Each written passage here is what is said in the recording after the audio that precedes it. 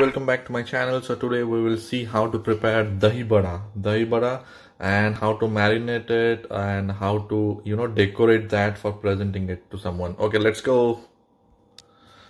Okay, so हम लोग का दही बड़ा हो गया है सो so, दही बड़ा अभी रेडी हो गया है ठीक है तो उसको क्या करना है so first will take this इसको थोड़ा ऐसे दही है इसमें इसमें आ, ये क्या मिर्ची है इसमें सब गार्निश करके डाला हुआ है, पत्ता वगैरह, और अब ये रेडी हो गया है, ठीक है? इसको क्या करना है? इसको ऐसे लेना है।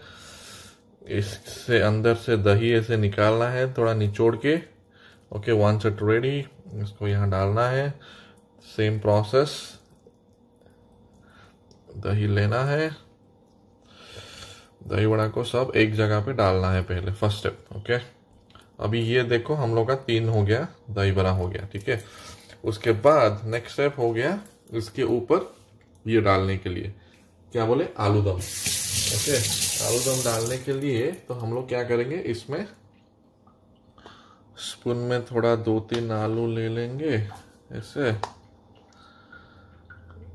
अभी इसके ऊपर ऐसे डाल देंगे। देखिए भाई, कलर। कलर देखिए इसका। बहुत ही शानदार है कलर। इसका कलर देख रहे हैं, ग्रेवी का? पूरा ऐसे ही लाल लाल बनता है और इसके ऊपर डालने के बाद जो टेस्ट आता है ना, ओह, बहुत ही सही होता है। ओके, मैंने अभी अभी चार पाँच डाल दिया है। इसके ऊपर अभी ये ग्रेवी थोड़ा हम लोग डाल देंगे। जैसे उसका फ्लेवर मतलब मज़ा आ जाएगा फ्लेवर। देख रहे हैं? पूरा लाल। खाने के बाद ही पता चलेगा इसका मज़ा, असली मज़ा क्या है। तो ये हो गया। अभी मैं और एक आलू डाल देता हूँ। बिकॉज़ ज़्यादा आलू डालने से अच्छा लगता है। नेक्स्ट थर्ड स्टेप ये डालना है। ये अपना मटर।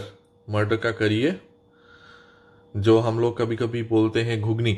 घुगनी बोलते हैं, उसको आलू दम बोलते हैं और इसको दही बड़ा बोलते हैं। ठीक है? ये जो होता है मटर का करी डाल देते हैं इसके ऊपर। इसको पूरा मज़ेदार डिलीशियस बनाते हैं। देखिए कैसे दिख रहा है अभी। इसको और थोड़ा डाल देते हैं। पूरा ऐसे रेडी होने के बाद अभी इसका ओके सो मटर हम लोग का अभी डाल दिया गया है। बस इतना ही डाल रहा हूँ फ़िलहाल। और उसको डालने के बाद हम लोग क्या करेंगे, उसके ऊपर थोड़ा ब्लैक सॉल्ट डाल देंगे, जैसे मज़ा आ जाएगा।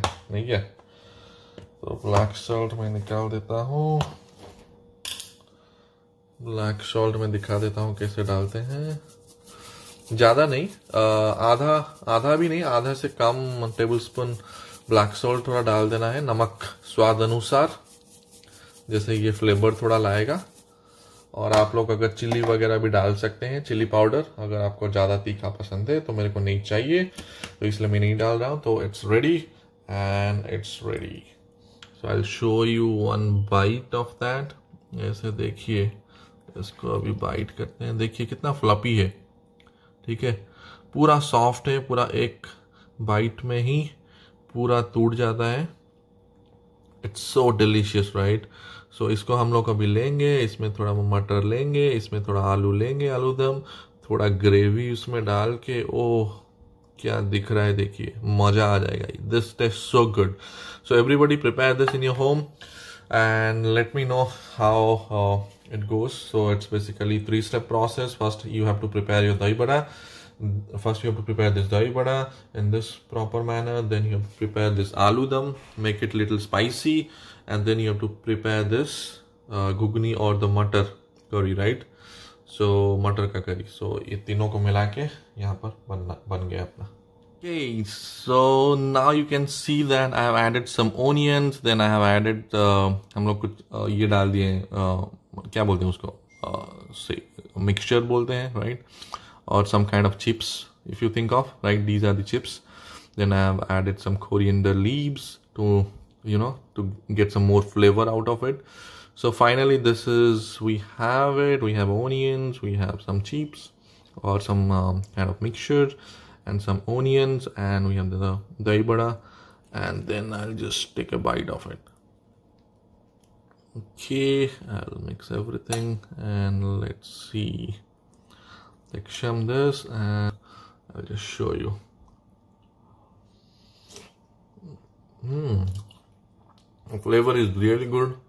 It has that, you know, it's spicy. It has that coriander leaves flavor, onion. So it's a perfect match. So guys, please try this in your home.